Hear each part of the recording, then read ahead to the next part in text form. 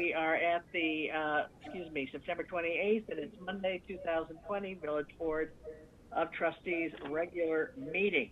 Okay? Um, due to the COVID-19 emergency, this meeting will be primarily uh, virtually a virtual meeting as required by law. At least one representative from the village will be present at Village Hall, and they uh, can accommodate uh, 13 people, including um, those people of, of the staff who are there. Um, we recommend the online or Lake Bluff virtual meeting. Okay, with that, uh, may I have a call to order, please? In and out of here. Trustee Ankenman. Here. Trustee Sherlock. Here. there a? Trustee Dewar. Here. Trustee Markey. There's there's an item there Here. in. Trustee Meyer. Here. Trustee Toll. Uh, may we have the Pledge of Allegiance, please? Pledge allegiance to the flag, of the United States, of America. to the republic for which it stands, one nation, under God, indivisible, with liberty and justice for all. for all. Thank you. Tonight, uh, we have a proclamation. It is the uh, uh, designating October 2020 as Fire Prevention Month.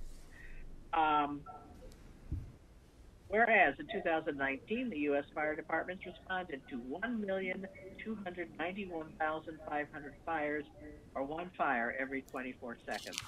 And whereas nationwide there were 3,704 fire deaths, or one every 190 minutes. Whereas property loss resulting from fire during the same period totaled in excess of $14.8 billion. Whereas an enlightened and supportive citizenry can be effective in reducing both loss of life and property damage resulting from fire. Whereas the Village of Lake Bluff is committed to protecting its citizens from fire losses, and whereas the Village of Lake Bluff is served by an all-volunteer fire department which works with its residents to promote fire safety. Now therefore be it proclaimed by the village president and board of trustees of the Village of Lake Bluff, County of Lake, and State of Illinois that we hereby pro- proclaim October 2020 Fire Prevention Month in the Village of Lake Bluff. Village of Lake Bluff residents are encouraged to change the batteries in their home smoke detectors, form a fire escape plan for their home, and participate in continuing information and educational activities of the Lake Bluff Fire Department during Fire Prevention Month and throughout the year, and to practice fire safety and prevention on a continuing basis. Um, certainly in lieu of everything that's going on out west with the fires and things, it just makes this all more prevalent for us. All right. We're now moving on to consideration of the minutes of the September 14th, 2014 Village Board meeting. Do I have a motion for approval? So moved. Okay, that was by Ms. Ankenman, and do I have a second, please?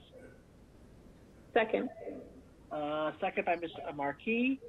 Any corrections? Madam President, there was one, I had a conversation earlier today with trustee Charlot. There was a one change in uh, number eight, item eight, where there was a verb tense agreement issue there. Um, A a typo, that minor correction. Okay, all right, thank you very much. Are there any other? Hearing none, roll call, please. Trustee Ankenman. Aye. Trustee Sherlock. Aye. Trustee Dewar. Aye. Trustee Markey. Aye. Trustee Meyer. Aye. Trustee Toll. Aye. Uh, Madam President, we need a vote on the fire prevention. oh, I'm sorry, I proclamation. did. I, I missed that, said all that without doing that. Please, do I have a motion for the approve the uh, proclamation? So moved. So moved by Mr. Toll. Do I have a second? Second. By Mr. Charlot? Mr. Myers, actually. Oh, Mr. Myers, I'm sorry. Uh, could we have a roll call for for that? Trustee Sherlock. Aye. Trustee Dewar. Aye. Trustee Markey. Aye. Trustee Meyer. Aye. Trustee Toll. Aye. Trustee Ankenman. Aye. Okay, thank you. At this point in time, uh, the village president, board of trustees allocates 15 minutes uh, during this time for individuals who would like the opportunity to to address the village board on any item that is not on tonight's agenda. Do we have anyone that would like to speak this evening? Madam President, um, I'm not certain if there's anybody looking to speak to anything not on the agenda on, uh, through the Zoom call, but we have two residents here in Village Hall who have um, comments they'd like to make. All right, fine, thank you.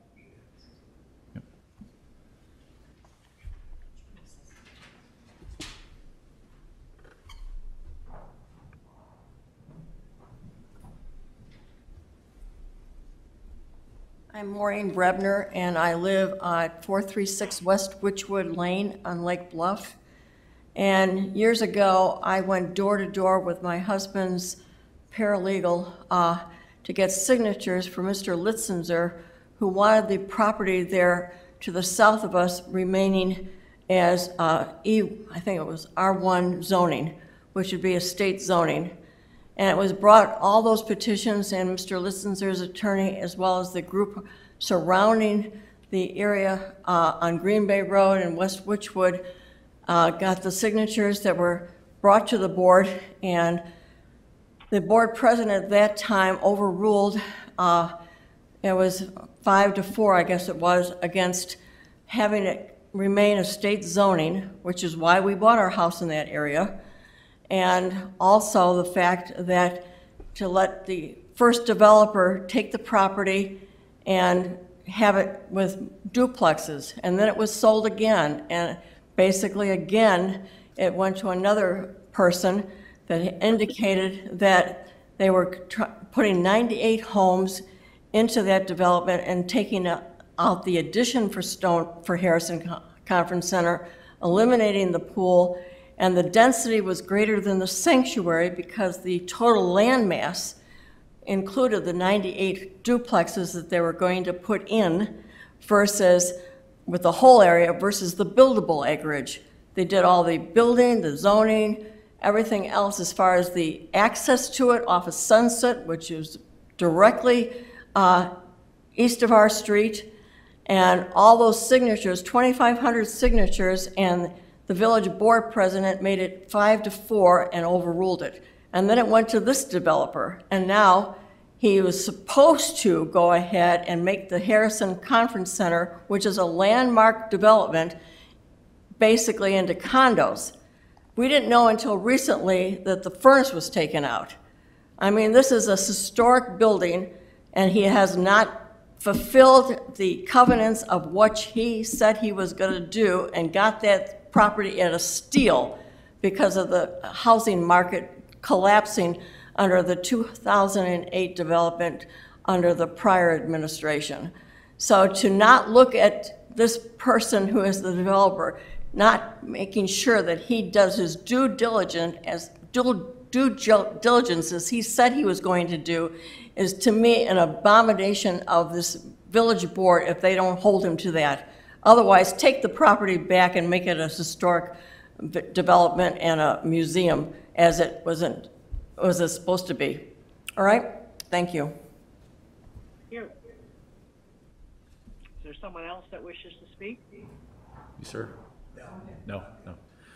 That, that concludes those uh, persons at Village Hall, President O'Hara. Okay, thank you, thank you very much. Uh, at this point, um, we can change the order of the uh, uh, meeting, and unless I hear, uh, from a board member, I think we'll just keep with the regular agenda for this evening.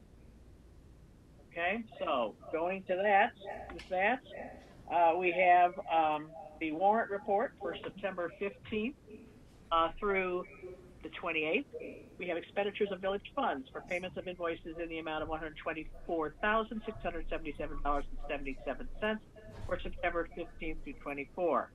We have also expenditures of village funds for payment of payroll in the amount of $297,097.92 for August 2020, which will bring total expenditures to $421,745.69.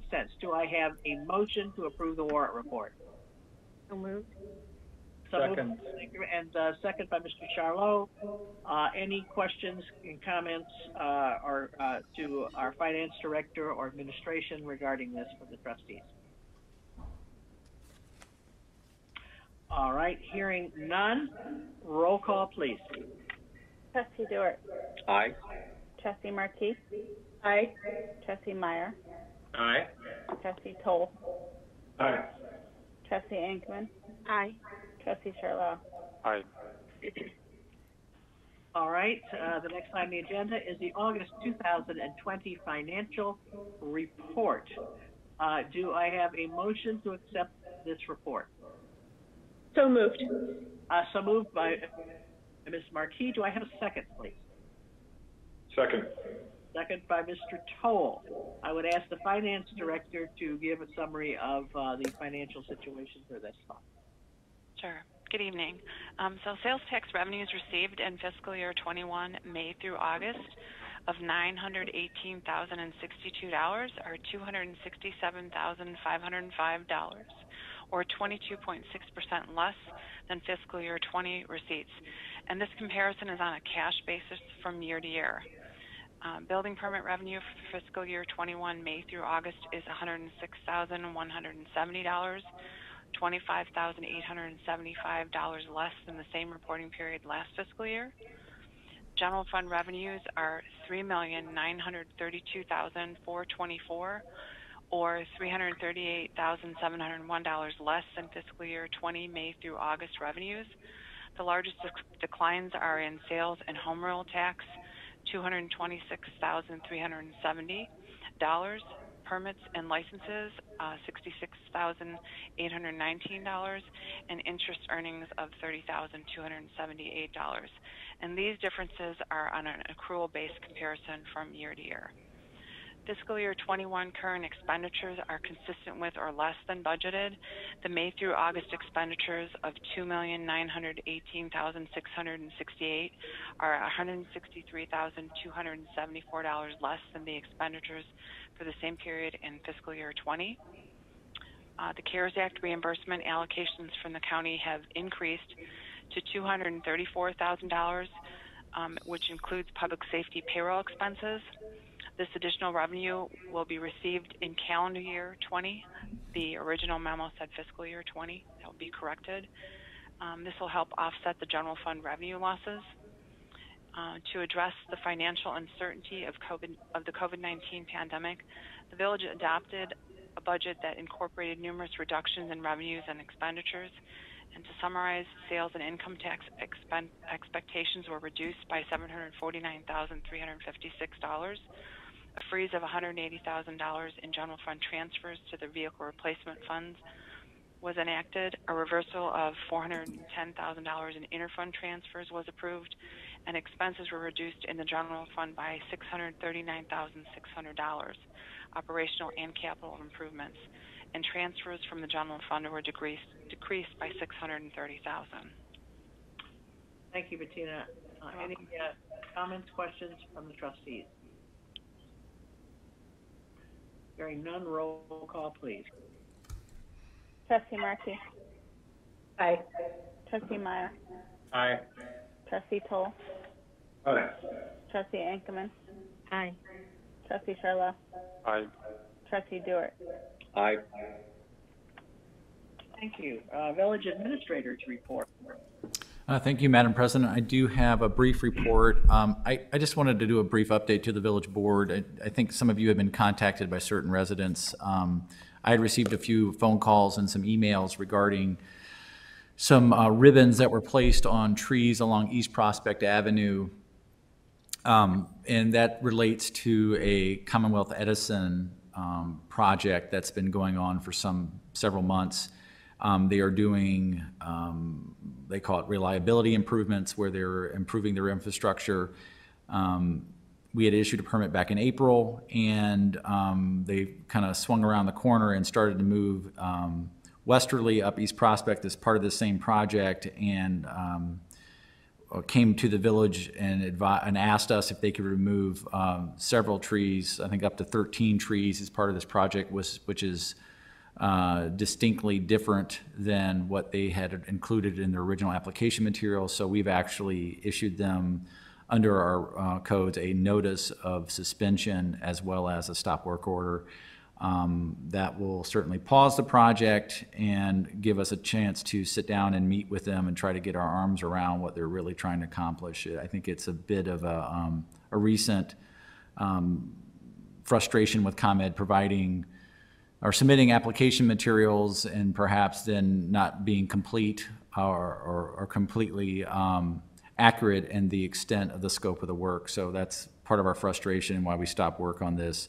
And we'll try to get our arms around it and meet with them. And, and, and what I suspect will occur is um, we'll sit down with them. We may go out in the field and look at the trees that they're looking to remove um, and see how that relates to the scope of work. And if, if there's trees that should come out due to either disease um, or substantial, uh, substantial uh, dead limbs or other reasons, then we'll, we'll try to be um, uh, smart about that. But really, um, we are certainly um, doing our best to save our um, beautifully tree-lined streets here. And and that's our primary goal, so, and that and obviously ensuring safety along the, the streets. But anyway, I just wanted to share that with you. If there's any questions, I'd be happy to answer any. I'm really happy you are taking those steps, Drew, for saving our city and their tree, our trees. Thank you. Okay, yes, all right. Anything else, Drew?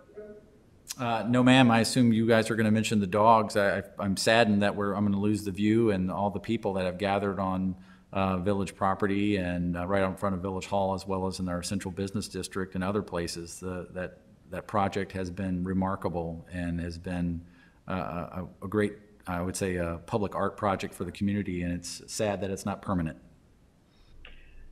Yes, that's, that's true. Uh, but they're beautiful dogs. We'd like them to, to stay there, but, um, they will be going to their forever homes. I guess I would request them to sit and stay, is what I'd say to them. Is that what you do that? Well, they are going to their forever homes. Uh, there have been, um, at least a dozen, I believe, uh, of those uh, dogs that have been uh, volunteered to be auctioned off to new owners, uh, and generous money generously donated uh, to the Lake Bluff History Museum. Uh, that is a rare, very robust auction. If anyone has looked at it and you still have a chance uh, to bid, everything, uh, the last time I looked, uh, everything had been bid upon and some at uh, very high prices, uh, but they're beautiful things. It's beautiful, and um, we will look to see uh, what other projects we might be able uh, to entice our village with. All right, uh, village attorney's report. I have nothing to report tonight other than we loved having a dog as part of Lake Bluff this year. We thank you for your participation. Thank you. We, we truly, truly did. Uh, and um, maybe what We should, we should, we should note that Mrs. Ankenman was the artiste or the village, the village dog. Our, our, vill- our named Trusty Trustee. Trustee. Trustee Very Ankenman, cute Mrs. dog Ankenman. it is. Right. Thank you for the And shout can, I, can I just add too that, uh, the auction goes through September thirtieth Yes, at nine. PM. Nine, So you it nine p.m.? Okay. Nine PM on September thirtieth, you can access the auction site through the Lake Bluff one twenty-five website. Thanks, Joyce. Sure. Okay, so uh, village uh, president's report.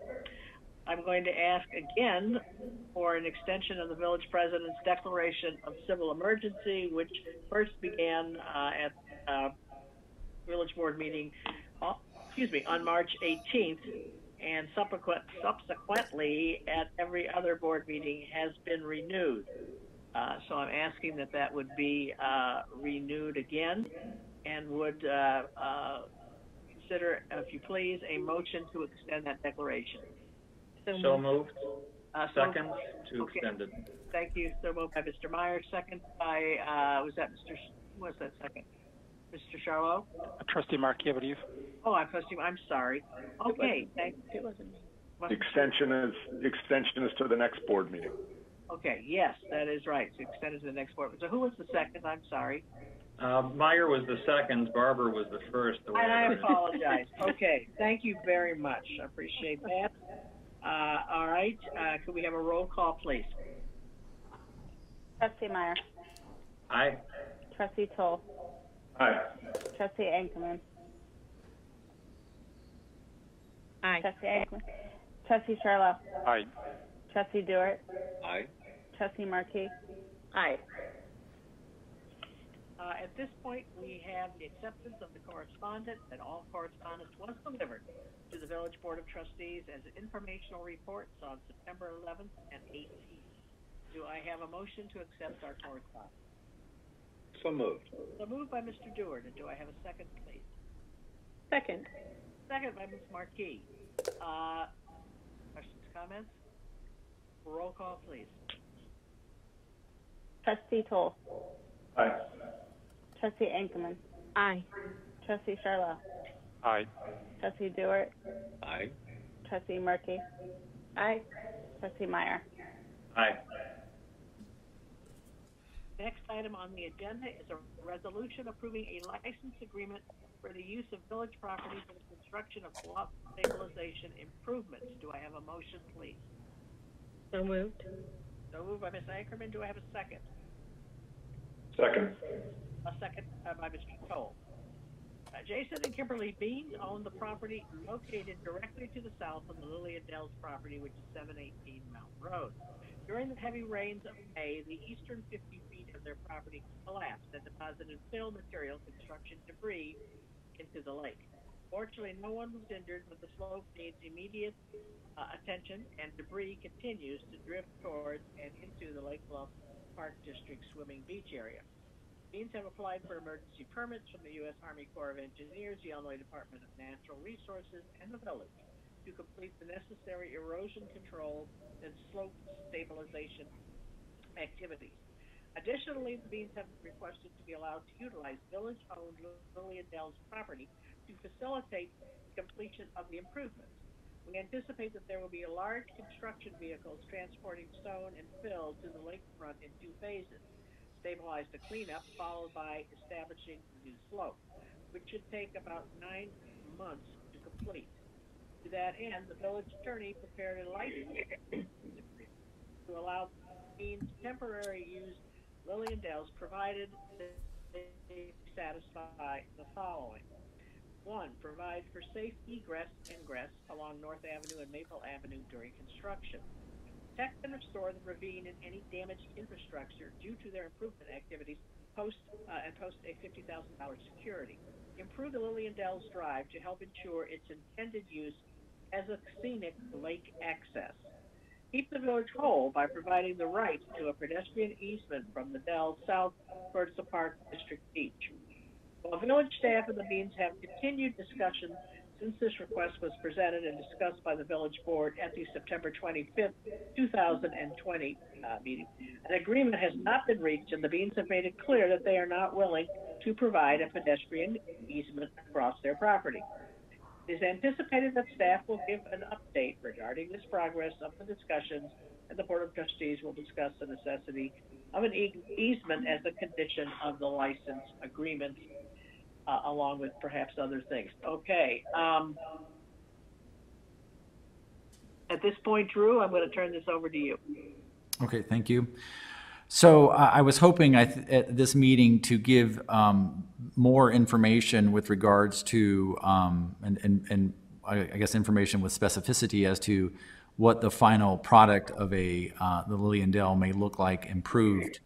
Um, And unfortunately, I- the information, uh, I I think I, it's come in very late, and I don't, the village engineer, I have not even had a chance to talk about it or discuss what it is, but it's a preliminary conversation he has had with Hey and Associates, an engineering firm the village is engaged to help come up with the specification um, to which um, the village board may aspire Lillian Dell to be uh, improved to.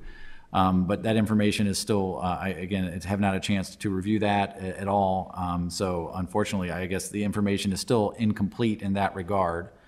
Um, I guess I could underscore the idea that's in the memorandum that the um, Beans are not um, interested in um, providing uh, an easement along their property at this point. And again, the concept was to make the village whole with regards to the existing property that the village has that um, runs through the Dell and then southward, um, and it's presently underwater, under Lake um, Michigan. Um, and I guess the only other piece of information I would add that's uh, new is um, that this Thursday evening, we have scheduled a neighborhood meeting to talk about the project, and we've, uh, we've treated the Lillian Dell and the Beans property like a, uh, if it was undergoing a zoning uh, um, request, so we've, we've notified all the neighbors within 300 feet of that site, and um, we'll be hosting a a Zoom meeting like this with the neighborhood on Thursday evening. So um, maybe have some more information there as well. But um, that would be the extent of the update. Certainly, if the board is welcome to, to discuss this matter, I believe Mr. Beans is on the call. If there is um, more information he would wish to provide um, for the board to consider, um, and that's where I would leave it. Thank you. Uh, uh, does Mr. Bean have anything he would like to add to this? He is raising his hand. Okay. I'm unmuting. Um, yeah, no, so the, the, the easement, the only, the only thing I would ask or, or question is the making the village whole on the easement. Um, you know, originally we thought it was, uh, just to, to, uh, put an easement for the land that was coming out of the water that was marked as, as village land, which went about halfway across our property. Um, it's not that, it's basically confiscating the whole waterfront and the whole value of, of the project, I mean, the land itself. Um, so, you know, looking at valuations, it would crush our, our property value. And, and if you know anything about Lillian Dells, um, I've never gone in my backyard uh, on a Friday or Saturday night or Thursday during the summer and not had noise from, from teenagers or, or a party down at the edge of the bluff. It's, it's incredibly um, non-soothing. I don't know what else to put. It's very frustrating. So um, it's it's not something we want to encourage in any way, shape, or form, or can. It's it's, it's a deal killer from my perspective. So if that if that precludes the, the project, then then you know we'll have to uh, explore other means. But we didn't realize we were talking about the, the confiscation of, of the uh, of the our backyard basically. So um, that you know if you guys have any questions for me on that, please feel free to fire, fire away. Uh, Jason, you, you mentioned um, other means. I know we talked a little bit uh, at the last meeting. Um, what are those other means that, that are possibilities other than I, using I Dell? honestly don't think there are any that can be done before the winter. So it's it's a roll of the dice to, to see if more of the bluff collapses. I measured today; it's about 25 feet to, to the back deck. Um, you know, the, the the main option really is to you know the barges are built up. On, uh, look for barges and stuff to see if we can get it by the spring. I mean, they're booked up for two years. Um, there may be options, but but independent of that, it's really just coming down our driveway the way they did originally, and um, you know, it just makes the project longer because it's much much much tighter and much steeper, so they they can't get the trucks in and out as quickly. So that's what our engineer said. Thank you. Is there any way for the village to help um, the, the Beans with um, securing barges, um, Drew? So, um, Jeff, the village engineer, Jeff Hansen, I did reach out to um, one barge company who suggested we reach out to another. The first barge, barge company we spoke with was um, said they did have some availability yet this year, but for a job of this scope, they were reluctant to commit and, and really said it was highly unlikely they would be able to do it. Didn't want to say absolutely no, but they are doing some work in the area. They suggested another barge um, company out of Milwaukee that they thought would would have a, a, um, a more loose schedule um, and, and could have some availability. But um, I, I guess I would maybe be hesitant to recommend that the village take on this activity on behalf of the property owners. But um, I, I I think there's, the possibility exists, as uh, Jason just commented, it, it may not be their preferred contractor who could be available within the time frame that they want to get their work done. Um, And I certainly understand that, where the village has better experiences with certain contractors than others, so. Yeah, and I'm open. If you have any uh, of those uh, that information, that'd be great because I've only been told what I've been told by by our our uh, engineers and contractors. So Mhm. I'd love to look at it. Appreciate it. Sure. So, so out of curiosity, the the you know when we do the the ravine and, and build the road, and the expectation was to leave it in a much much better state. Is that a benefit to to the village, or is that considered a detriment? Um, I mean, do we know? I'm, I'm happy to answer on behalf of the board. I think the board has viewed it to date as if, if that Lillian Dale can be improved and, and go more towards the idea of the pleasure drive that it, it intends to be, I think the answer is yes. I think your project stands a good chance of improving it. Um, I think the risk and the worry is that that investment that you would make to serve your, your needs, to do your work, could get washed away if not certain improvements are done to secure them, whether it be through little check dams and pipes or another uh, system. Again, that, that final state and what that looks like has yet to be confirmed, and I think that's part of the rub with getting this conversation finalized. But um, I think that's probably the best answer is yes, Jason. I think people do view that as the potential to improve that. Um, I think that the goal would just be make sure it stayed and not get washed out in a storm event.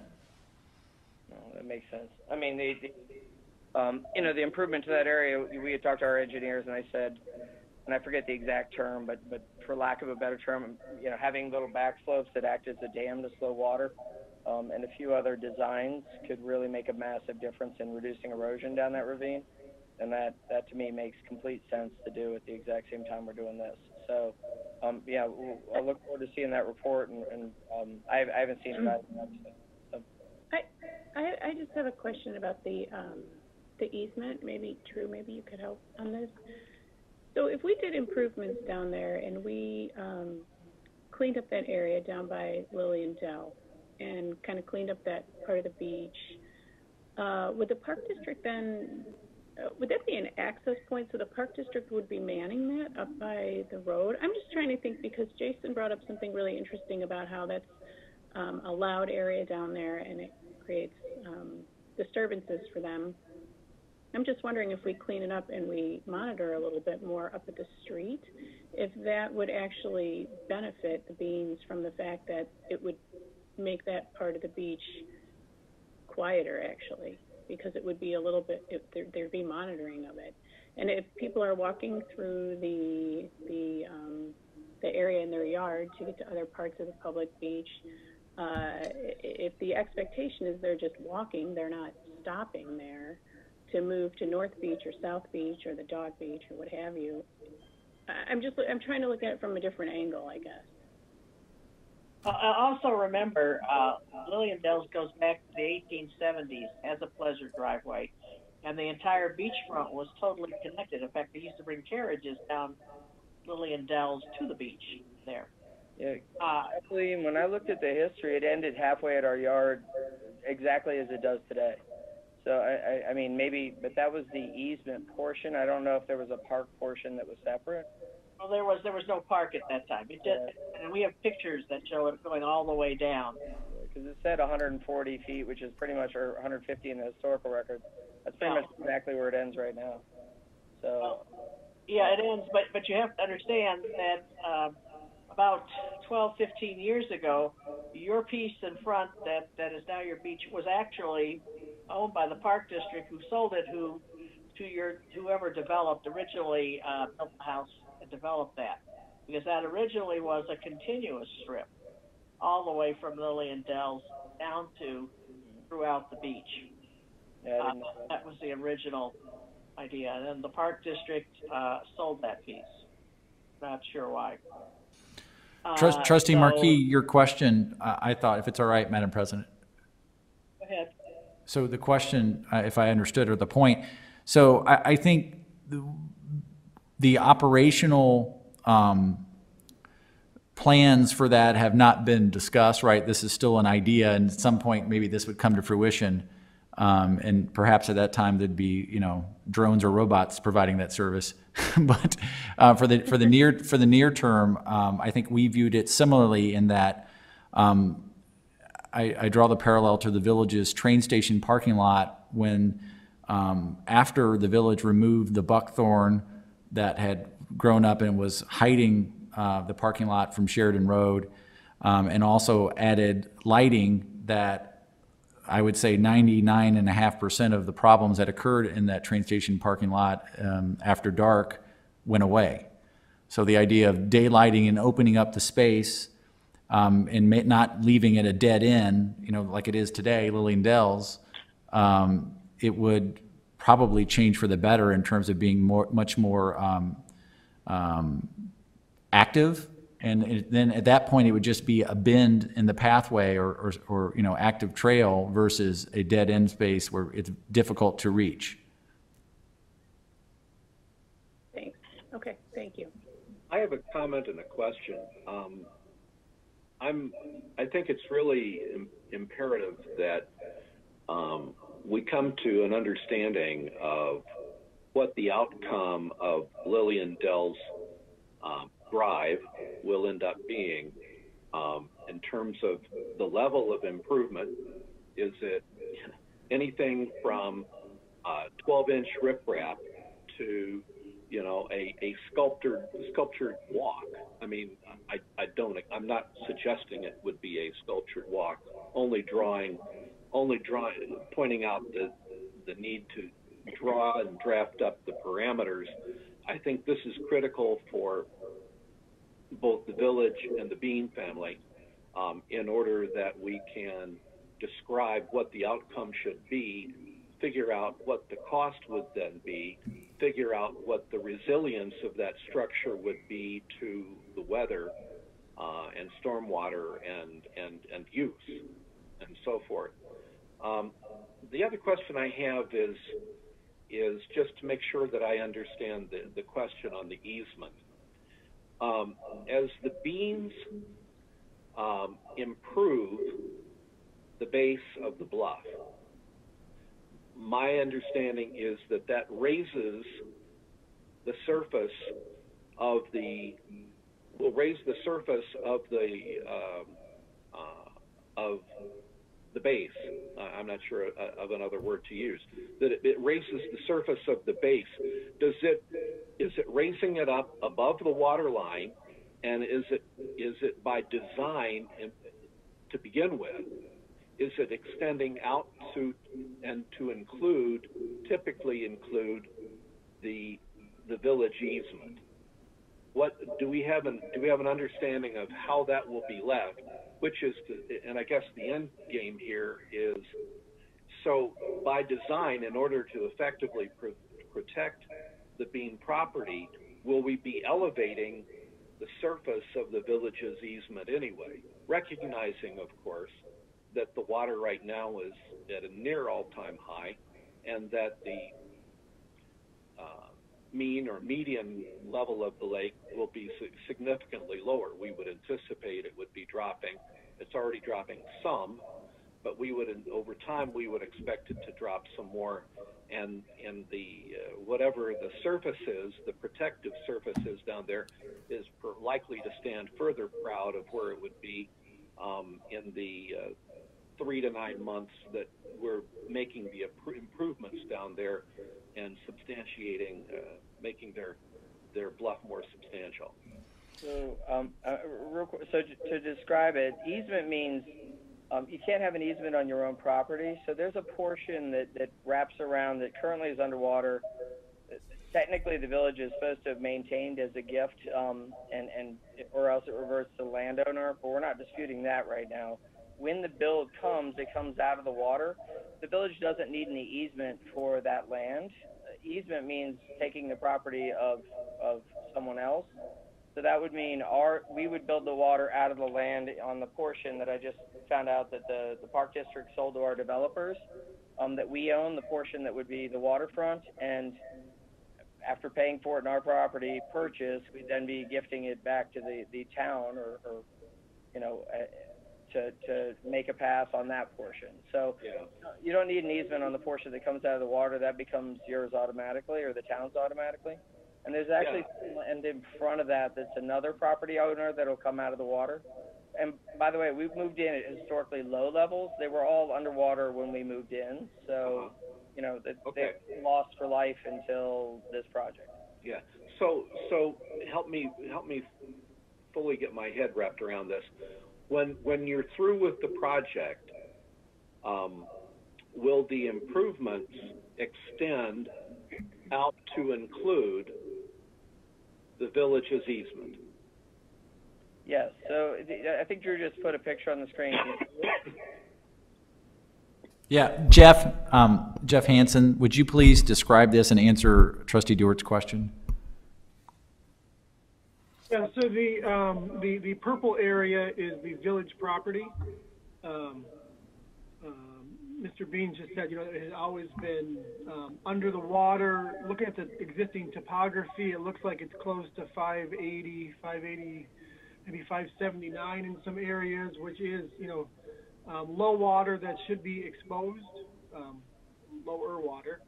So right now, you know, it's in the water, and if you look down um, at the green area, that's the area that's right now in the lake, um, beyond the, you know, the easternmost property that will come out of the water. So the area that Drew is looking at right now, uh, with his cursor, will be elevation 590, which is um, about six feet above the water right now, and eight and a half feet over what's considered normal high water elevation and then it'll go up at a two to one slope up to the top of the bluff. So that purple area will be probably 20 feet out of the water. Wow. At a very steep side slope, so it will be Okay, kind of in the middle of the bluff, basically. okay. Yeah, I, my, my, my purpose in asking was just to make sure that I understood, or we all understand, um, uh, where the easement lies, and, and in the course of this restoration, would the easement be above water or below water or something like that? Uh, Yeah, and, and Mark, you know, that, that area is not an easement, that's property we own. Um, Okay. Our property, and it should be noted that whether or not they use Lillian Dell to do, um, access it, they're still gonna be working on village property, and we still have to have some kind of agreement with them to do that. Okay.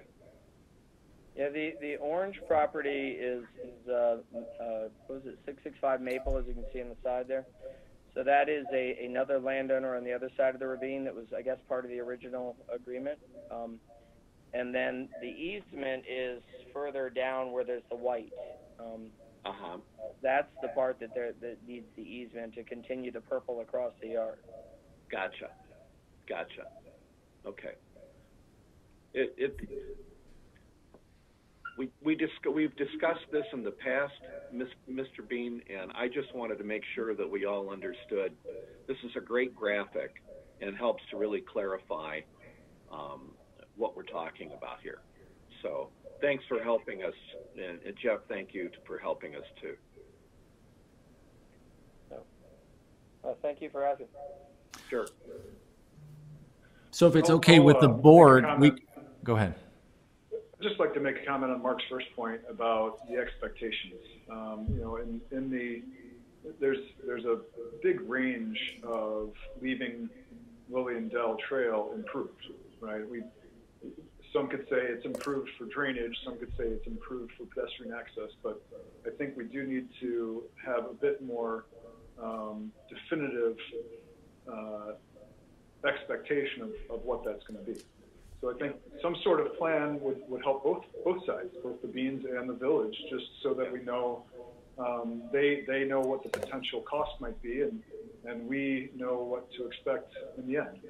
So I think that needs to be ironed out um, quite a bit more, and, and hopefully what Drew received this afternoon might might do a little bit of that. I, I, I really think that's fair for both parties, and and you know, and I'm concerned personally. I'm concerned about the resilience of the improvements to to stormwater, to lake storms, um, all of that kind of thing. Um, uh, because I think it's in the village's best interest that we be able to maintain whatever it is we put down there. Um, when you walk down there, um, you can you can certainly see that we've made a number of attempts to try to stabilize that. Some better, some some not so good. And um, if we're going to do it, we should be wanting to do it correctly.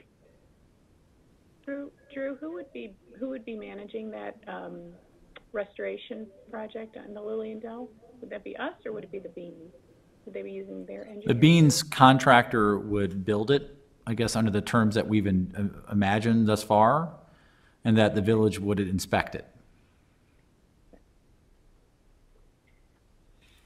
Uh, Drew, I think some other information that would be very helpful as we all try to understand and ultimately reach a decision and hopefully uh, an agreement here ultimately.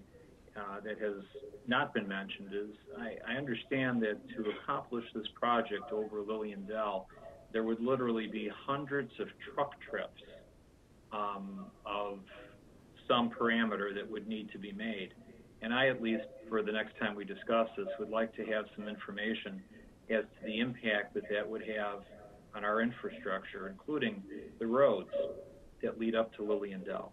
Um, to have some idea of how that fits in with the use that they, for example, normally would get, probably infrequently from moving trucks, versus what the implication is for these trucks full of stone going over our roads and indeed doing so hundreds of times. Um, I'm also, of course, very concerned, aside from that potential uh, of damage to our infrastructure from this project. I'm concerned about we have a stormwater pipe that goes down Lillian Dell. Perhaps that will be addressed, strengthened, but I certainly, at a minimum, would want to see that it is protected as part of this. Um, we have other impacts on the neighbors. Probably this will be something that gets addressed on Thursday, but certainly with hundreds of truck trips, we have issues of congestion, noise, and smell. I'd like to have some, um, you know, some idea about that because while certainly I think we all very much want to uh, both sympathize and you know help the Beans as much as possible. We also have our duty, um, you know, more generally to the public, and I think these are all pieces of data that go into that decision making that certainly I'd like to be cognizant of as we're considering how this all fits together. Because the cost to the village um, could have some parameters out of that that we need to understand.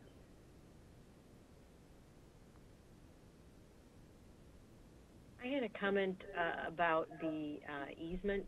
Um, there's the the uh, pedestrian easement that has been um, an issue that has been talked about briefly. But when we looked at the graphic for um, the land after all these improvements are made, it almost seems, and, and correct me if I'm wrong, it almost seems like we are going to be having land visible even at this current lake level that was underwater and a significant amount in that it looks like there there is a path there will be a path that will be above even the high level of water right now is that a true statement It is. Um, I, I think the difference is how traversable it is, right? It's the size and stone that they're going to install is uh, critical, and, I, and, and I'm getting out of my certainly way out of my expertise. Jeff, do you want to talk about this? You know, can I can I just mention one thing, Drew? Um, I, I just want to mention there's two types of traversable, legally and, and practically. And I just I, I think it hasn't been mentioned that below the mean high water mark of Lake Michigan is legally trans, transfer, traversable land as part of Lake Michigan, even if it's showing within the boundaries of a lot. So by raising water above the mean high water level, you're making a, a legal change in what in what property can be traversed there. And, and the plateau is proposed to be above the mean high water level, so it's out of the legally traversable land if it's shown as part of someone else's property. could you say that again i mean i, I almost got that so, So below below the mean high water mark, it's considered part of the navigable part of Lake Michigan. So whether it's dry or wet, whether you get your feet wet or not, you can walk on it depending on the lake level. Some years you may get your feet wet, some years you might not, but you can go up to that level. You can walk on it because it's considered navigating Lake Michigan. So when you change the level of the land, you're changing what area can legally be walked on. So as you see where the end of the purple is, the end of our property, that affects people's ability to continue walking because if that's raised out of the Lake Michigan above the mean high water level, then they can no longer legally walk outside of that. I mean, just uh. I was underwater, just so you know, at the three feet below historic when we moved in. So it's it's it's it's not at the mean high water mark. Um, you know, you could probably walk it ankle deep at that time. But the but the metal barriers in front of our yard were underwater or at the edge of the water when, when we moved in. And now they're now they're three feet up on them. But I, I, I, I was able to walk around in 2015 without getting my feet wet. Made, made the whole trip around. yeah, no, but that I think that was still I think that was still ours or the, uh, the, the six six five property. I could be wrong. Maybe I'm wrong.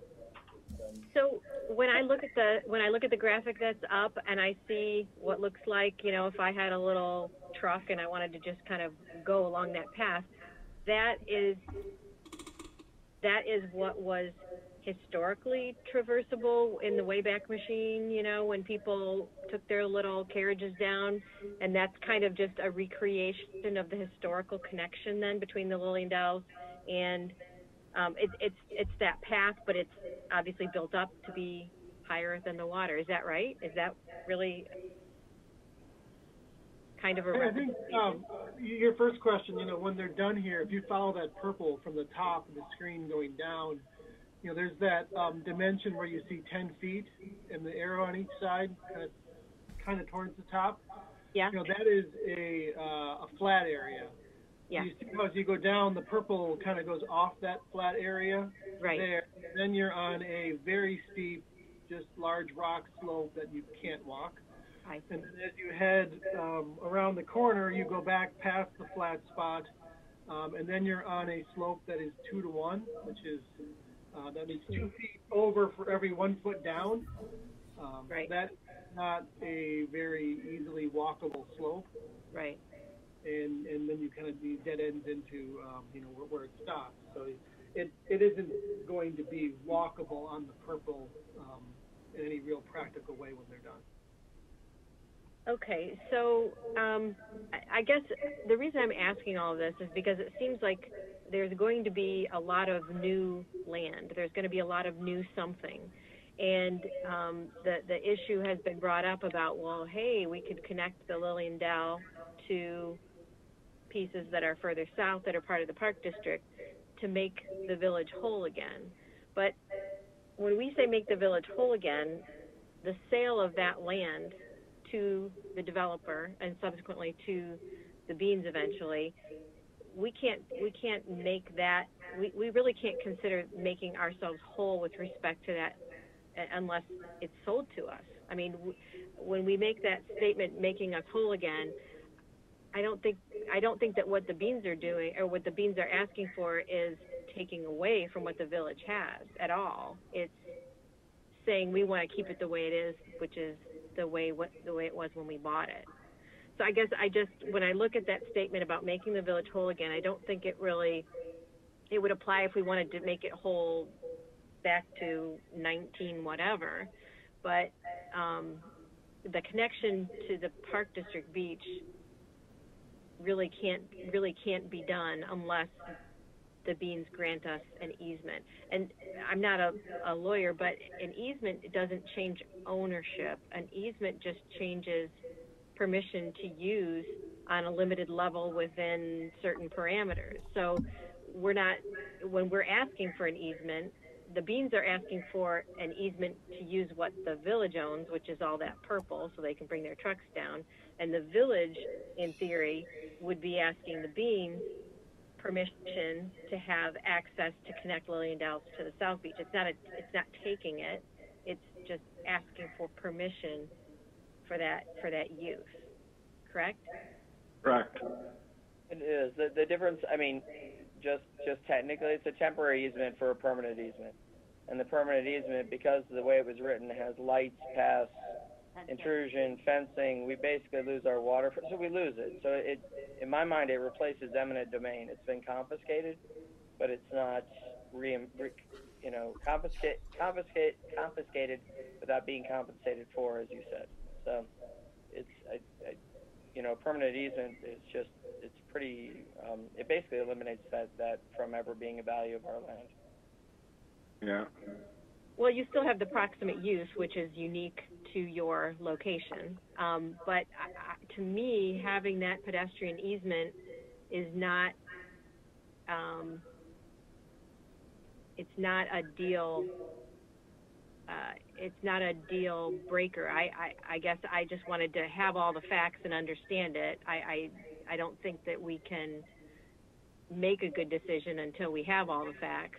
Um, but um, I'm just trying to under- have everybody understand what that easement really means. It's not a taking of the land; it's a, a permission to use it. Peter, could you talk a little bit about, I'm sorry. No, I think I'm going to ask the same question you are, which is uh, how, how the easement actually works. My understanding would be that people could move through that easement, but they couldn't necessarily put down a blanket and have a picnic there. That they would just be utilizing it to move from one point to another because technically this would be the Beans Beach and people would be moving through it to get to part of our public beach but we but people wouldn't be like putting down a blanket, spreading out for the day in this area of the beach. They would just be allowed to access it to get from one point to another. Am I wrong in that, Peter?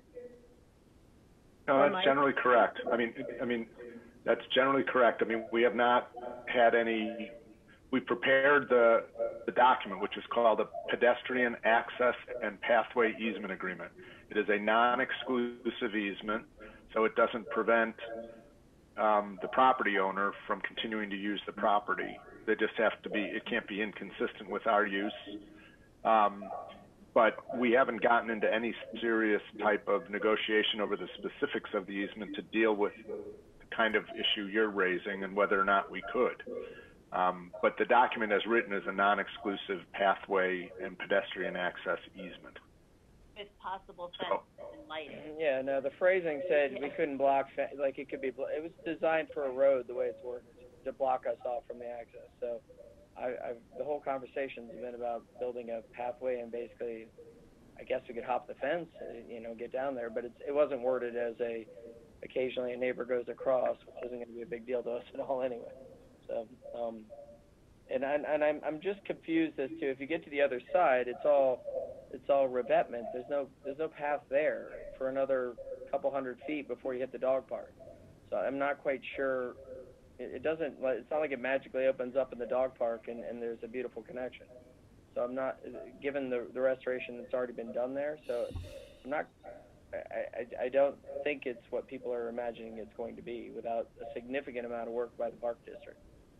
Well, and I, I think uh, that's kind of the idea is that this could be a, a future project for, um, you know, 10, 15, 20, however many, however long from now. Um, but it would just give the, the ability to do that. Um, I, I'd like to chime in and, and agree with Barbara. Um, I mean, it is unfortunate that the park district sold that the rights to to that piece of property, but that is in the past. Um, and we can't say that the village needs to be made whole by, by requiring access to that, in my opinion. My bigger concern is making sure that the Lillian Dell is restored to uh, an appropriate condition that, that helps to um, keep whatever enhancements are there. In addition, uh, I appreciate Bill, Bill's comments about the roads. Those are going to be heavily used during the project, so I'd like the village protected in some way um, so that the, the village is not on the hook for significant uh, repairs sooner rather um, than, than on the normal schedule. So um, I'm of the opinion that I think we can make this agreement, but we just need to iron out the details of the enhancement and also um, do the study on, on the on the road use.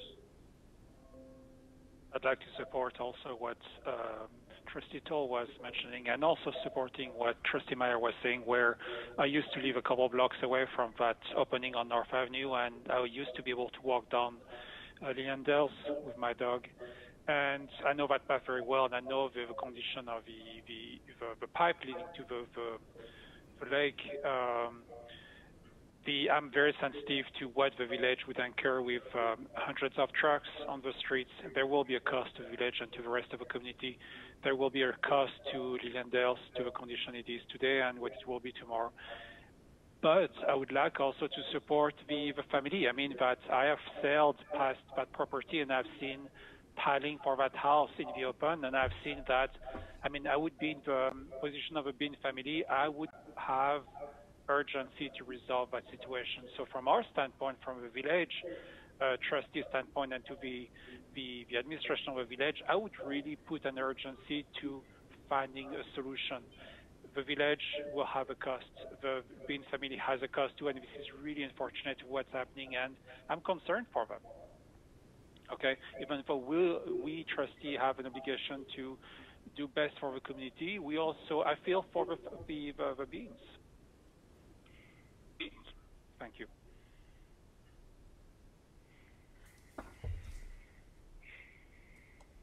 Thank you uh, for the comments. Uh, just, just I, I do, and Drew, you can you chime in.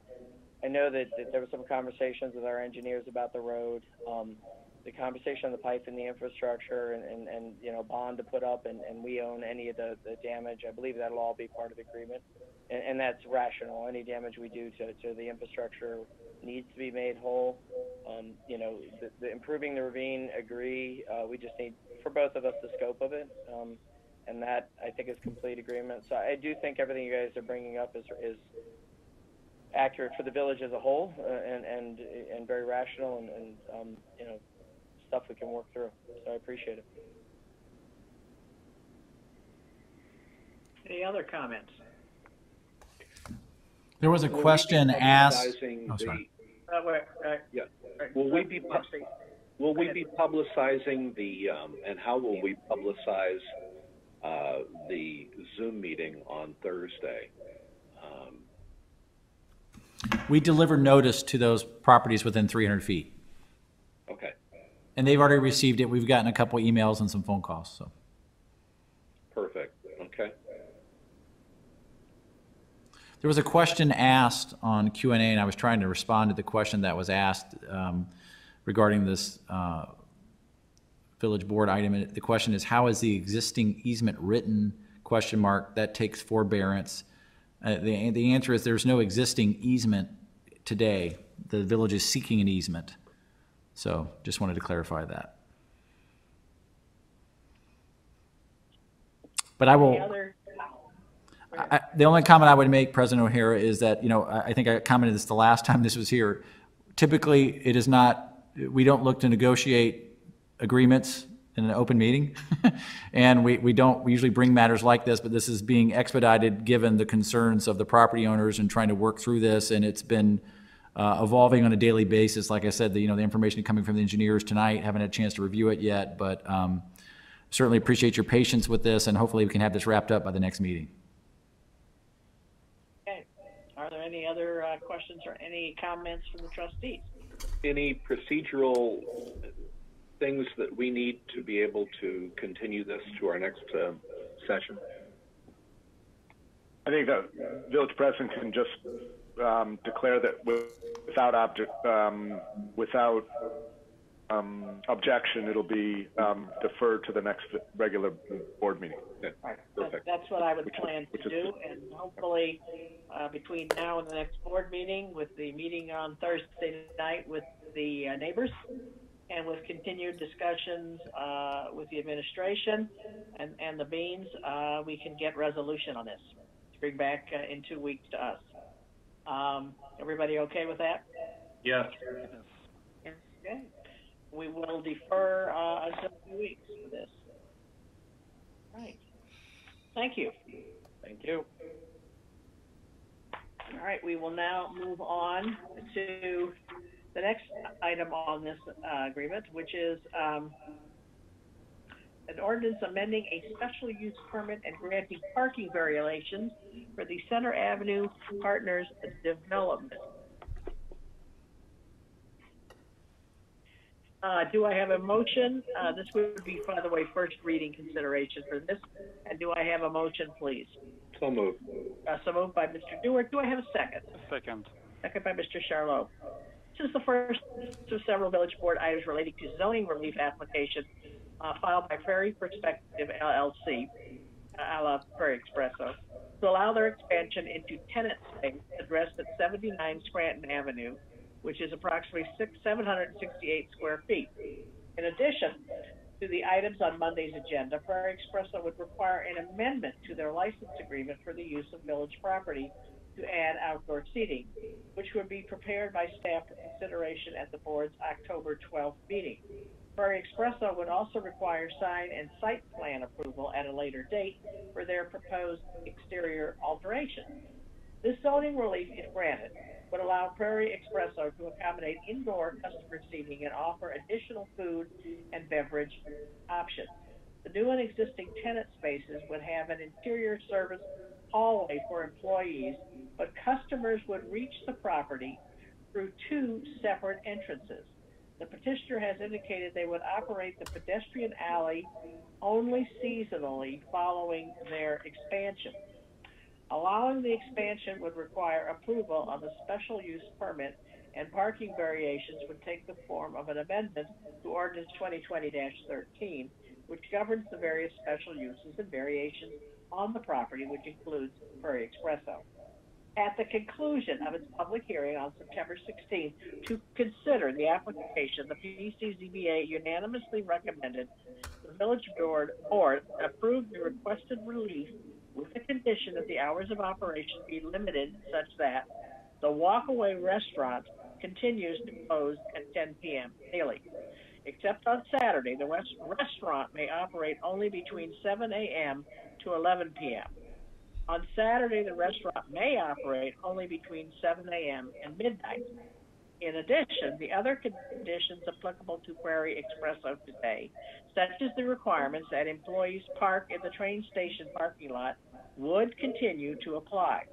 Members of the PCZBA emphasized various concerns expressed in testimony regarding parking in a central business district. Okay, um, all right. Did I get a first or second? I'm sorry on that.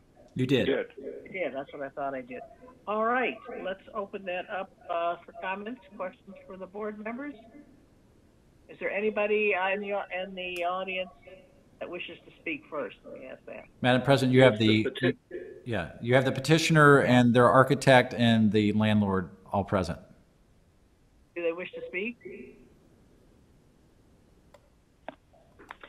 Um, I would, I'm, the- hi, this is Matthew Kerouac, the architect. I would, um, I think the summary was pretty clear. I would wait to see if there's any questions from the board before, um, before I spoke. Okay, Matt. Thank you. Board, open for comments, discussion, questions. Okay, not hearing any. Uh, do I have a motion to approve? I already had the motion to approve. Excuse me, first reading. Sorry about that. I'm fixated on this tonight. All right, um, then we have a roll call vote, please. Trustee Ankenman. Aye. Trustee Sherlow. Aye. Trustee Dewar. Aye. Trustee Markey. Aye. Trustee Meyer. Aye. Trustee Toll. Aye. Okay, all right, that's first reading, and the second reading will be uh, in two weeks. Ordinance amending Lake Bluff zoning regulations relating to subterranean garages. I understand uh, that uh, the petitioner has withdrawn the request. Is that correct, Drew? That is correct. Earlier today, um, I heard from Jamie Sickles, the petitioner, and she did decide to um, withdraw her, app- her application and request for zoning relief in this regard, um, which really leaves one issue for the village board to um, decide on. And if you recall at the last meeting, there was a um, first reading approval of the text amendment dealing with how the village's regulations worked um, with regards to um, um, uh, number of doors and, and so far. Uh, hold on one second. We'll check something.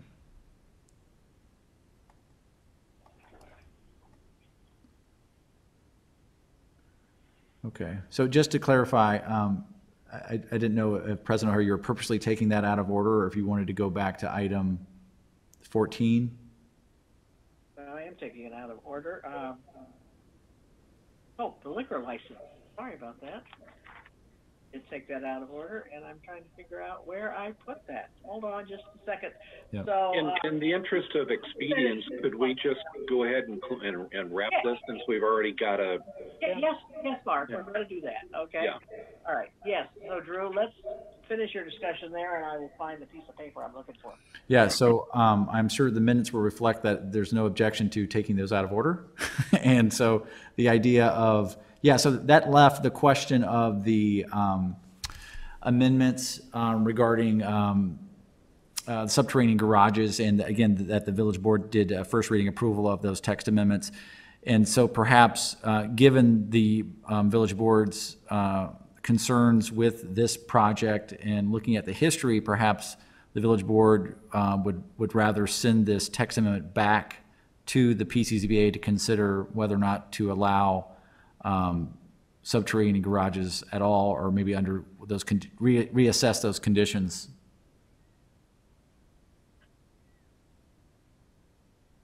I think that sounds like a reasonable thing to do, to ask them to, to look at that again.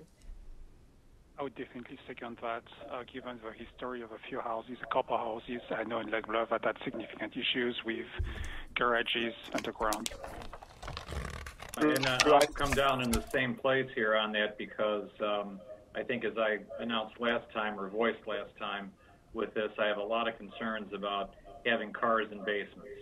Um, and I won't repeat myself from that, but Drew, I would, if we're going to send it back down, I would suggest that um, we put on the next village board meeting uh, um, that ordinance so that it can be. Um, we just don't want to have the first reading ordinance out there without any action on it.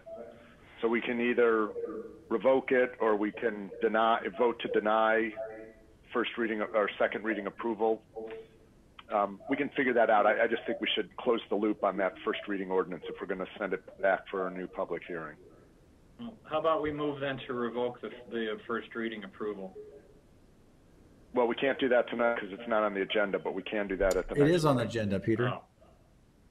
Peter, that ordinance is on the Well- agenda. Oh, I'm sorry. I thought it was the zoning relief. Yeah, so we can do that tonight. I apologize. All right, so what, uh, what's the format that we want to use? What's the procedure here? Do we, uh, Bill, you can make, you can make a motion to deny second reading approval.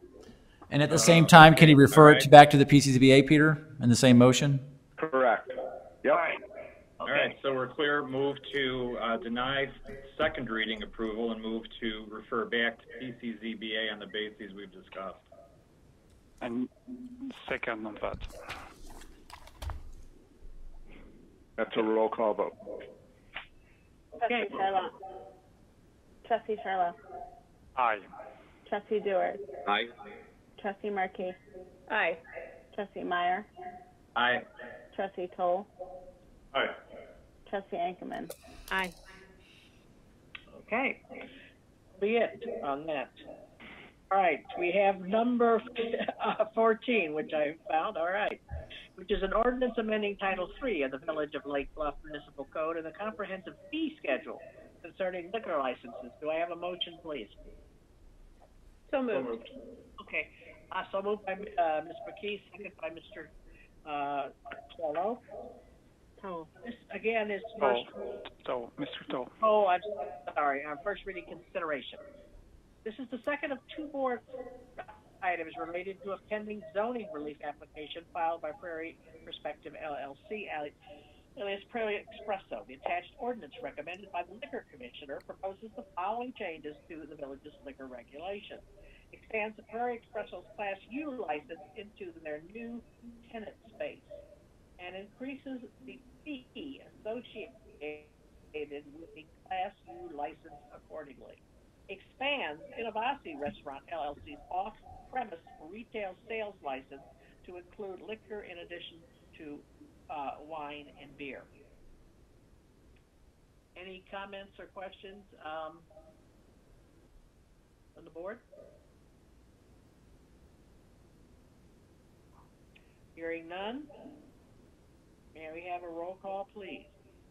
Trustee Dewar. Aye. Trustee Markey. Aye. Trustee Meyer. Aye. Trustee Toll. Aye. Trustee Ankenman. Aye. Trustee Sherlock. Aye. All right. We now have an ordinance granting a special use permit site plan approval and variations for an automobile dealership. Okay. Sorry on my li- little thing here. Seems to, I haven't lost that. Drew, do you have that on your thing there? The Jaguar dealership? Do you have a, uh, the, the reading on there? I have, um, seem not to have that at the moment. I thought I I do. I'm happy to read the cover if you'd like. Uh, would you please, in your lovely tone? thank you. Well, I'm sorry I can't deliver on that, but. Actually, here, I, you Oh, know you do- here, actually, I found it. I'm Oh. sorry, I found it. Thank. Great. I, uh, yeah. Yes, great. Okay, all right, here we go. Excuse me, my lovely iPad is causing huge problems, but it's probably me. Okay, this is an ordinance granting a special use permit, site plan approval, and variations for an automobile dealership, which is Imperial Motors at 3947 Sherwood Terrace. Do I have a motion, please? So moved. So moved by Mr. Meyer. Do I have a second? Second. Uh, second by Mr. Dewar. Again, this would be a first reading consideration.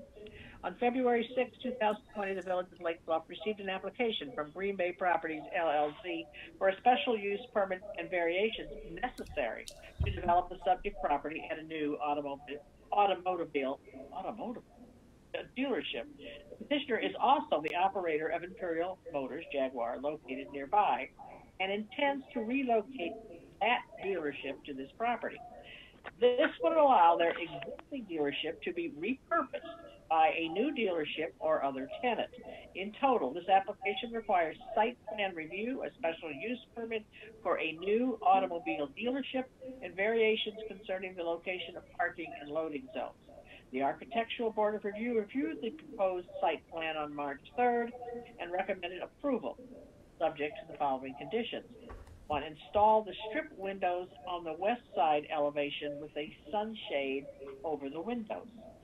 Mac, maintain the exterior lighting at a color temperature of 4,000 degrees Kelvin.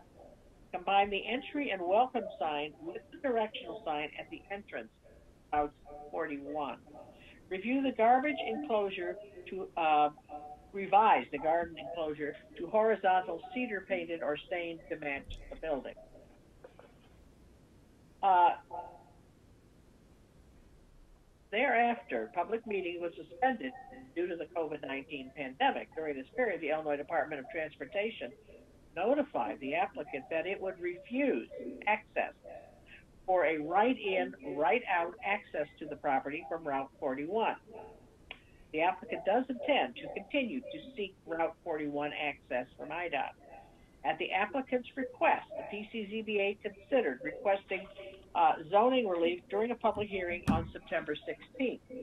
PCZBA unanimously recommended approval of the application as originally submitted, and that would be with Route 41 access, or under an alternate site plan that eliminates the Route 41 access. The only recommended condition of approval was a series of conditions designed to prevent car deliveries from taking place on the shoulder of Route 41. After first reading, the ABR will conduct a second public hearing at their October 6th meeting to consider the site plan variations without Route 41 access. The board, uh, excuse me, the board may provide first reading approval pending this hearing to avoid any delay to the applicants. An updated ordinance reflecting the ABR's October 6th deliberations will be prepared for second reading and approval on October 12th. Are there any questions, comments from the trustees regarding this? Drew, did you have anything you wanted to add um, with this? I, I would just let you know that, um, Madam President, that, uh, the dealership owner-operator, uh, Jordan Aaron is on the line, as is his project, uh, advisee, uh, advisor, Robert Flubacher. Do they have anything they would like to add to this?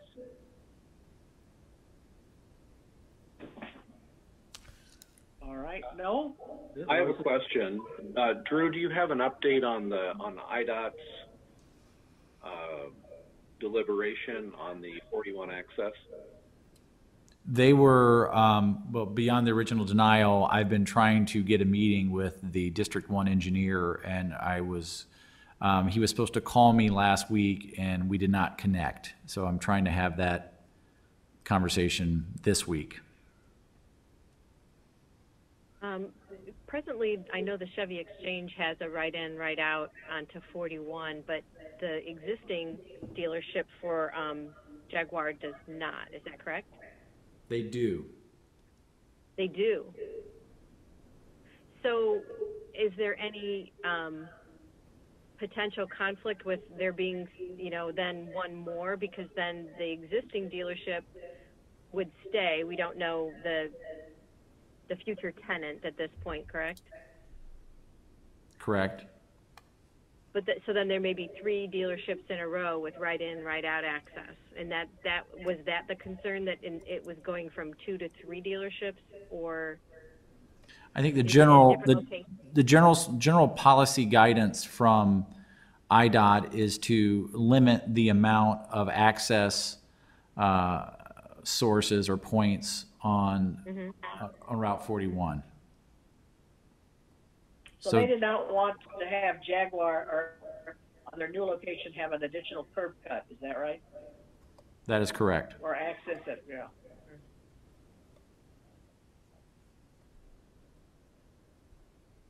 So If, that, that is, that uh, the reason for the call. I think the idea is if the village perhaps can potentially persuade IDOT to review their policies in a different manner. Um, So let me, And if, and, and here, I'm a little unclear when I read it, Uh, if IDOT does not, uh, extend that additional, uh, uh, in and out of forty-one, what is there? what's going to, what would they do? uh, So this is Jordan Aaron. Um, good evening, everybody. The, so the, back when we built the uh, current dealership, approximately 20 years ago, um, we, we kind of had the same um, initial turn down by IDOT. And at the time, um, the village also got involved and assisted with, um, you know, the discussions to get a right in, right out. Um, so the, you know, the, the reasoning is it's called a freeway, and then, like Drew mentioned, they, they're not terribly interested in having um, right-ins and right-outs. Um, over the course of the 20 years we've had this, there have been zero collisions at the site. So we've got a pretty good track record um, of ingress and, and exit. They, you know, the other thing is they say, you know, it's on a curve, whereas the new site, which is slightly south, as Drew is driving down the highway there, the forest preserve, there you go. It's actually on a straightaway. So one of their reasons for declining us is that it's on a curve. Well, actually gave us a right in, right out on a curve, and this one is on a straightaway. And also, the deceleration and acceleration lane would be basically a continuation of our current acceleration lane, and then um, the Chevy Exchange's deceleration lane. So we're not really um, creating um, too much interference, um, if any at all, with the right in and right out. Um, so it's really more of a, you know, they, they don't like to give um, deviations from, uh, you know, their, their stated purpose, I guess.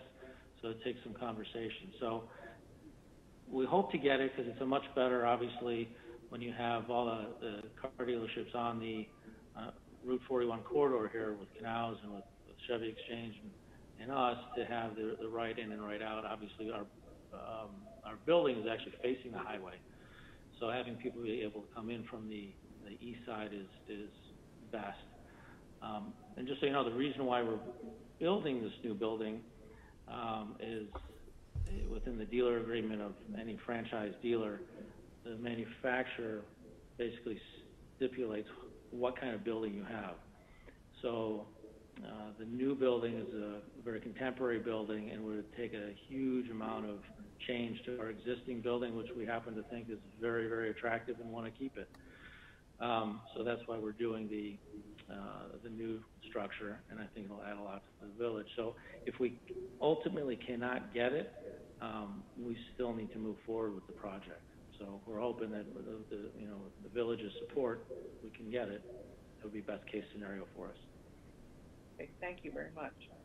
Uh, Gi- uh, trustees, anything want to add? So are we prepared to uh, approve first reading with the access question up in the air. We do have, it does, it presupposes, or, or are we prepared to go to a plan B between, that could be very different between first reading and second reading?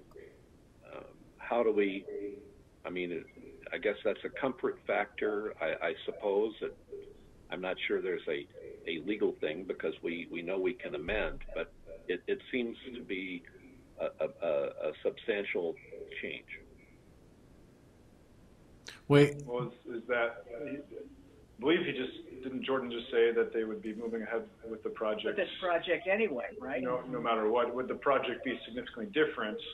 Well, what would be different without the- would be, they would no longer have access to their dealership from 41. It would all be through, from Waukegan Road. Uh, confirm, I, I assume that's, that's how you would do it, Jordan. And, um, through Sherwood. And- Correct. And, and that's, that's, it's, it's, it's a different, um, concept. And I'm just asking, uh, if, if that's something that, that's within our comfort zone. So we have on the, on this, in this packet, we have both the, the uh, site plan with right-in and right-out and without. And the reason we need to go back um, on this sixth is because they didn't see it without the, um,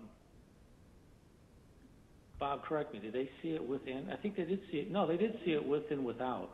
Um, But I think there were a couple of additional, Drew, you might have to help me here, why we're going back on the sixth uh, in front of the appearance review and zoning. But they, they've seen both right in, right out, and without, as you see it here today.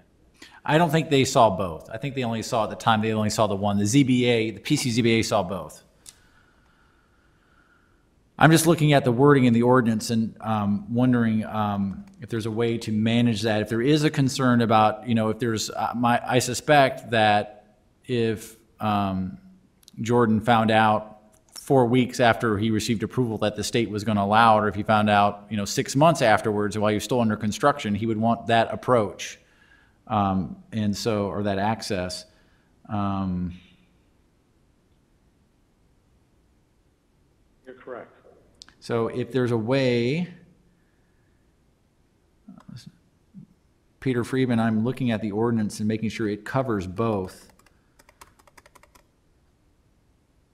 Regardless if there's access or not off of 41, if the approval as written covers both and the board is, I guess the board could be. Well, we could make that clear for second reading, if it's not. Yeah, and I guess it comes down to the, does, does the board want to know the final, final, final decision? Um, or if that can be reported back to you, whatever your pleasure. If, um, if I could, Mr. Irvin? Yeah. Yeah, so uh, we had talked about this with the village attorney. There's a section six B as in Bravo that speaks to this.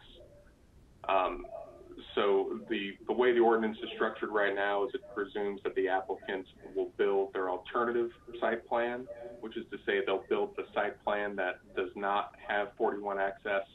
Um, it provides an administrative pathway, pathway from the village administrator um, to approve that curb cut uh, without any further um, action by the Architectural Board of Review, the PCZBA, or the village board.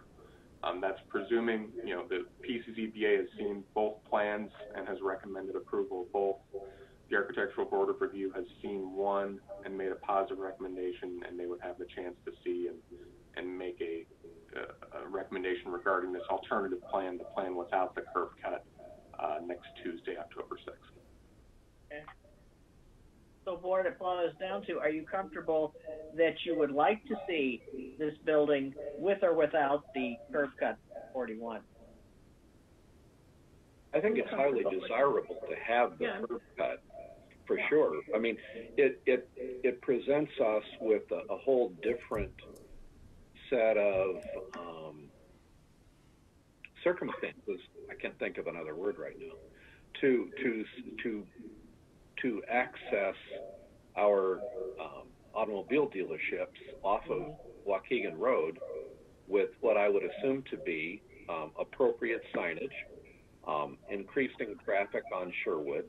Um, I, I'm perhaps there's uh, uh, a workable uh, something workable with um, our, our Chevrolet dealership at, at the same time, uh, but it's different, and and because it's different, I, ju- I just asked the question: Are is that within our comfort zone um, or not? And um, that's all. That's that's That's, okay, yeah, I, I Yeah. understand. So, um, the, the question is, is this within your comfort zone, board? Are you okay with this? I'm comfortable with it. I would be okay with it. Sorry, Joy. Yeah, I'm certainly okay. Let's proceed, and I suppose I'll just add this one comment. If you're forced into the situation of no cut on 41 by IDOT, certainly, at least from my point of view, I would want to do everything within reason to facilitate um, a decent sign that's going to get attention on 43. I think it's important for us to be supporting our car dealers, and uh, would certainly want to encourage uh, you finding solutions if IDOT is obstructing you in this way. Uh, I would also add that, uh, uh, we will do our utmost as a village to try to persuade IDOT, uh, to grant, uh, the dealership's request. Uh, don't know how far that'll go with IDOT, but we will do whatever we can to, uh, find some success with that. Was everybody okay with all this? Um, let's Yes, have. I would support that. Yeah, I, I have I have one other. Jordan, are you are you comfort? You, you know, I automobile de- dealerships aren't my business, but ordinarily your showroom, for example, is oriented toward your customer arrival. In this case, your cust- if if your if your access is off 43, your your image to your customer will their your their first impression will be on the service side will it not, to some extent, um, versus the um, uh, the the access off of 41? How will, is there an issue there? There is a little bit. I mean, the front side, you know, that faces the highway is a very dramatic um, part of the building. It's it's a structural glass, like a jewel box. So when you drive by, you you, all you see is into the building, especially at night with, um, um, you know, a lighting scheme that changes through the day and in the evening and then into the night. Um, so uh, the back of the buildings, on the west side of the building, we've tried to make it a, a front rather than a back of a building. It's got a lot of windows, it's got a lot of definition uh, to, to make a, a, a nice looking building as you approach uh, from what would be theoretically the backside. Um, so yeah, it's a, it's a concern um, because the front is, is really fantastic looking. So Yeah. but it's you know it, it, you know it's it we went through this 20 years ago and and the village really uh, helped out a lot so I think Drew can make you know connection with with the folks at IDOT um, it'll help Yeah. them knowing that the village is support I, I certainly hope we Uh, can and do this one to other- make it right for you. well, thank you Yes, I I think really that's, that's what we would all like to do, and, and we will, uh, encourage Drew to use his, uh, magic. Full All agreement right, supporting so, our. uh, Can we, uh, if, uh, sure. comments are done, can we, uh, go for a roll call, please? Trustee Markey. Aye. Trustee Meyer. Aye. Trustee Toll. Trustee Ankenman. Aye. Trustee Sherlaw. Aye. Trustee Dewar. Aye. Thank you all. We are now doing item number 18, which is an ordinance initiating a review of certain village zoning regulations and directing the village administrator to undertake planning and administrative procedure related thereto. Do I have a motion, please? So moved. Uh, so moved by Ms. Ankenman. Do I have a second? Second. A second by Mr. Meyer. The Lake Bluff zoning regulations govern the use and development of private property within the village and create specific zoning districts that provide specific and unique regulations for property located in these districts. More specifically, the zoning regulations provide for three different types of planned use developments. One, planned commercial developments, which was adopted in 2013, planned mixed-use developments, which was adopted in 2016, and planned residential developments, which were adopted in 1987.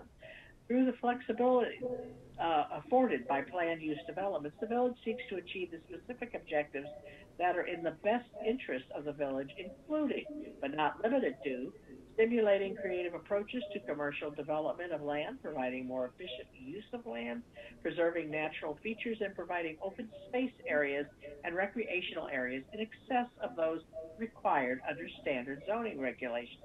Developing and implementing new approaches to the living environment through a variety of in-type, design, and layout of buildings, transportation systems, and public facilities, and promoting long-term planning to allow harmonious and compatible land uses or combination of uses with surrounding areas. That was a very long sentence. It is in the best interest of the village to undertake a review of the planned residential development regulations and the underlying zoning district in which planned residential developments may be located in order to determine whether and to what extent these regulations should be revised, updated, or replaced in advance of any future developments. If approved, the attached ordinance directs the village administrator to initiate a thorough review of the planned residential development regulations and the underlying zoning districts in which planned residential developments may be located. Anybody uh, out there in the audience that wanted to speak to that? Let me see, Madam President, is anybody that's raising their hand? See anybody? Yes. Mr. Rick Lesser. Okay. All right. Good evening. Good evening. Um, and my uh, my thanks for you all working this late on this. Oh, here, hold on. I've got a I've got a weird name on there. That's because I was in Zoom court this morning, and I have to when I'm in Zoom court, I have to name myself after my case. So my my apologies, uh, but uh, I'm not actually 19 CH 893. Rick Lesser, 27 West Hawthorne Court. Uh, I just had two uh, points I wanted to add to this discussion uh, and um, uh, and the review.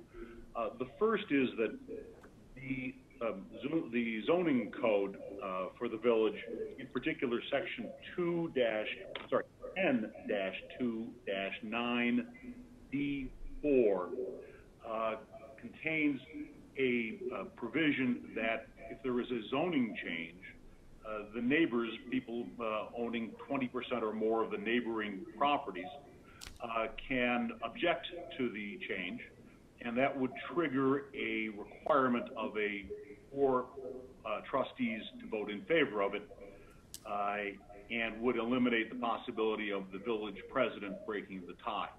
We ran into this problem on the Stonebridge uh, project. Uh, on Stonebridge, there were only three trustees who would support it, but because it was a PRD rather than a zoning change, uh, the village ruled that the um, uh, that the frontage protest right uh, would not apply. These are both land use changes. You can quibble over whether it's a zoning whether a PRD is a zoning change or is not a zoning change. I get the point there, uh, but just the same, it is a land use change. And one of our the concerns at the time, and one, certainly one of my concerns, is that the PRD can be used as a device to avoid uh, this frontage protest requirement. And I would like the village to consider that uh, when they re-examine the PRDs. My second point is uh, there used to, I believe, also be a limit on the size uh, of a PRD. That is the number of units that would be um, uh, created. Uh, I think that is appropriate uh, in that when you overlay a PRD on a larger area, you can do a lot of damage to the existing zoning and the existing expectations of people around there. Uh, there is some point to having PRDs limited in size and scope. Um, and I would like the uh, village to consider that limitation as well. Thank you all very much for your um, uh, for your attention and uh, and your participation and, and your service on behalf of the village. Thank you. Thank you. Any, uh, anyone else? All right, uh, any comments? I have a qu- I have a question to uh, Administrator uh, Irvin. What would be the timeline for that review? Um, great question. Um, I, I think I'll have to get back to you on that in terms of laying out a schedule about what that will look like. Thank you. Okay. Anyone else? All right, hearing none, uh, can we have a roll call, please? Trustee Meyer. Aye. Trustee Toll. Uh, excuse me, before I, I, I sorry to interrupt there, but we're talking a first and second reading approval on this, Art, Peter? Yeah, that you're voting on first reading right now. Okay, fine, continue, and I'm sorry for the interruption. Trustee Ankenman. Aye. Trustee Sherlaw. Aye. Trustee Dewar. Aye. Trustee Markey. Aye. All right, uh, do I have a motion for second reading? So moved. So moved, thank you, Mr. George. Do I have a second on that one, please? Second. Okay, second by Mr. Meyer. All right, roll call, please. Trustee Toll. Aye. Trustee Ankenman. Aye. Trustee Sherlaw. Aye. Trustee Dewar. Aye. Trustee Markey. Aye. Trustee Meyer. Aye. Thank you. All right, uh, trustees report. Any trustees this evening? Report on anything? I have a, I have a short report, Madam President. Okay, thank you. uh, we already talked about the dogs on the bluff for uh, Lake Bluff 125, but I wanted to just mention to folks that um, starting October 5th, we're going to be installing the brick walkway in front of Village Hall.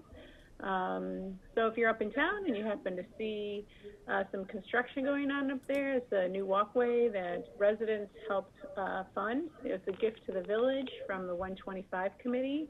Uh, we got about 330 engraved bricks that are going in, and um, it's a nice little beautification project. So uh, that's what's going to be going on up up by Village Hall on October 5th. Uh, thank you, Joy. And by the way, thank you because I think you spearheaded that and made that big push so that we do have 330 bricks uh, there. Thank you very much. You're Anything welcome. else? Anything else? Madam President, Madam President, may, may I trouble you? Um, given that we occasion, given we've always, not always, sometimes we've had issues with, um, going into closed session and coming back to act on executive session meeting minutes. Um, Yes. might, might the board consider that out, take that issue out of order as well? Just in the event that there is a technical issue, we, we avoid that coming back into regular session after a closed session. I, I think that would be a wonderful idea myself. Uh, anybody else have any objections to that? All right. Uh, And I, and if I may, before we go that further, I think in the future, as long as we're meeting mostly virtual, I will move those on the order of the agenda. I think you should because it Yeah. makes it very awkward to, Yeah. to do that, to go back and do that, which we found out. So I think that's a good idea. All right, so uh, let's go in, uh, in consideration of the August 24th, 2020 executive session meeting minutes approval. Do I have a motion, please? So moved. So moved by, uh, excuse me, Ms. Marquis. Do I have a second? Second. Uh, Second, uh, thank you from Mr. Toll. Any comments, questions regarding that? Hearing none, roll call.